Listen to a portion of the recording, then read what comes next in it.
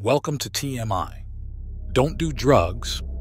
Drug sting. In March 2016, a police department in Texas posted a special warning on its Facebook page, asking people if they had purchased drugs from a local woman. They warned that the drugs may contain Ebola, and if they had some, they should bring it to the local sheriff or police station.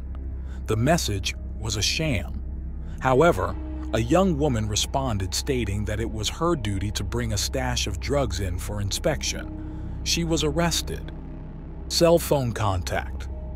When police in Vancouver, Canada, asked to search a local man's apartment for drugs, he was not a suspect.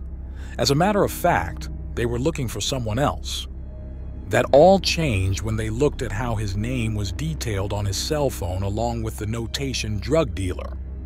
Unsatisfactory high. Three drug thieves illegally got in a house located in Silver Springs, Florida. The three found three containers they thought were loaded with cocaine. Without hesitation, they transported the drugs to their house and proceeded to inhale the substance. It was at this minute that they understood the containers were not really holding cocaine.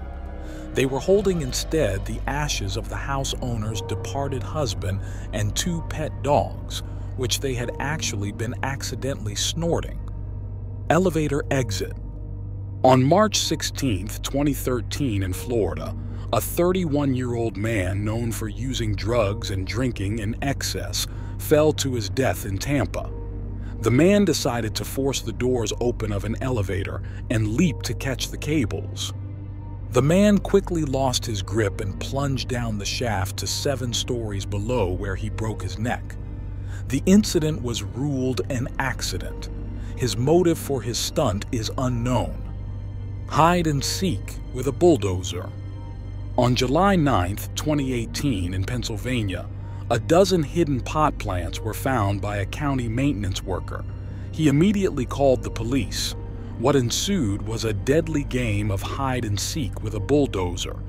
Two suspicious men were lurking nearby.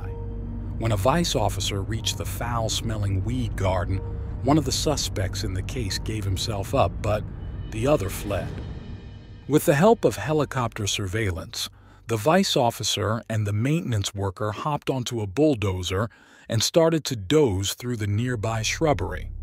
Search efforts failed to root out the man, so the vice officer halted the earth moving machine and hopped off to scan the area. That is when the male suspect was discovered lying dead on the ground behind the bulldozer. Ashes to ashes. In Missouri in 2014, a gang of thieves stole from a residential property. One of the thieves served as a lookout while the other two would look for high ticket items. They took more than $800 in money, a necklace worth $500, a tablet worth $800, and several Xbox PC gaming consoles. They also took several prescription bottles that had morphine and oxycodone, in addition to what they thought to be a box of cocaine.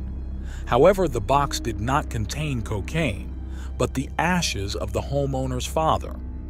Please like, subscribe, and hit the notification bell for more content like this.